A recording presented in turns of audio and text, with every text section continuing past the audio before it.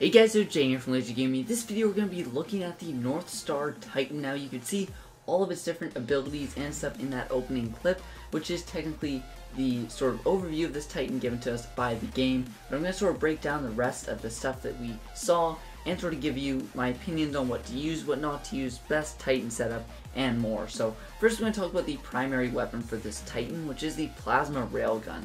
So this weapon is sort of like a six-shot sniper, and it ends up doing more damage the longer you're zoomed. So this Titan is actually very good for long range, just getting shots into people, picking people off slowly, especially in Last Titan Standing. You want to weaken those Titans a lot before they can even get close to you. So by using this ability, you can shoot enemies at a long range because this Titan is honestly relatively weak up close with the exception of its um, specialist, which is the flight core. Other than that, though, it's relatively weak up close. The secondary is the cluster missile, which creates sustained explosions on impact.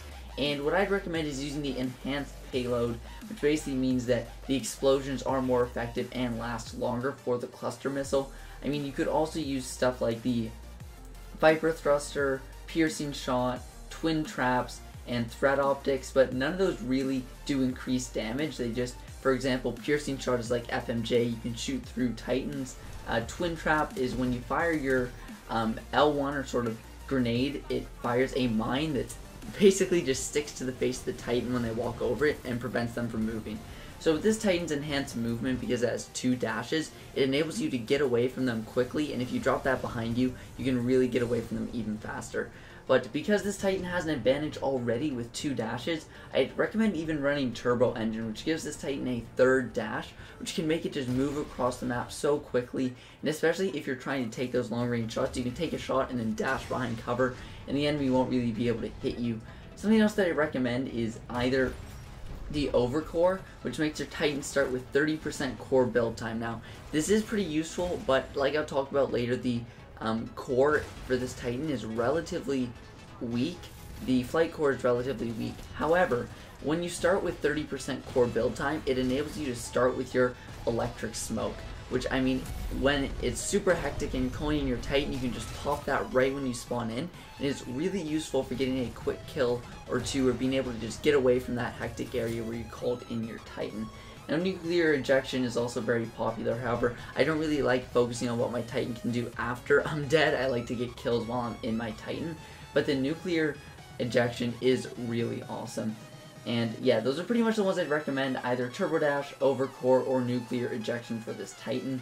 And then lastly, for the Titanfall kit, I mean, Dome Shield or warp Warpfall are sort of both pretty good. Warpfall is a bit weak because it still takes 2 seconds to call your Titan, it's not instantaneous. But if you use Warpfall paired with Overcore, you can Warpfall and then in your smoke right away, which is something I'd recommend. If you're a bit more passive and you want that security, I'd recommend using Dome Shield on this Titan, because it basically means that you won't be able to get shot while you're jumping into your Titan, and it's a lot easier for your Titan to escape that hectic area. Now the last thing, sort of the special move with this Titan is the VTOL hover, which means you can sort of jump up in the air and do a vertical maneuver, which I mean surprisingly surpri is insanely effective because you surprise people a lot when you add that extra verticality to the gameplay. However, one thing is that you can't jump down right away. So once you're up there, you're up there for a little bit. So enemies might be able to shoot you and stuff. But if you're just jumping over a building to pop a sniper shot at an enemy, it's extremely useful. And lastly, let's talk about the flight core. So this basically, you hover up in the air and unleash rockets at the targets below. Now, I have had trouble hitting a nice clip with this. Um, the best I did was on Last Titan Standing, I got like two or three kills with it. I wasn't recording, but that's really the best I could do. After this recording, I'm to go and try to get more clips with it in Last Titan Standing but honestly, it's really not that useful. If you have a ton of infantry around you, you can use it, but I just find that the missiles are so weak that it's really weak especially when compared to other Titans cores like the Laser Core, Shield Core, I mean sword core, and stuff like that. It's just extremely weak. However, other than that, this Titan is relatively strong. It's the Titan that I've ranked up the most because its mobility is just extremely high. The last thing is, is that its health is weak, so I mean, you're going to want to be using that mobility because you're going to be taken out a lot quicker than other Titans. And I'd recommend even grabbing batteries from other Titans to enhance your health, because without that, you're just going to get annihilated by the other Titans. I do hope you guys enjoyed this video. If you did, to drop a like down below.